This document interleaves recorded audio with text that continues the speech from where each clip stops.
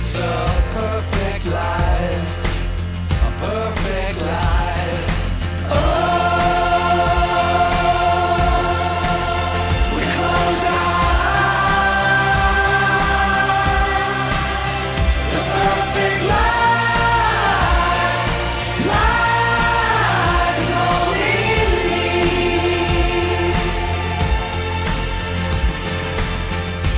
Little Mikey steps everywhere, knives in his pockets and bullets in his hair. He has nothing to live for, nothing left to say. He's locking all the doors to keep the older wolves at bay.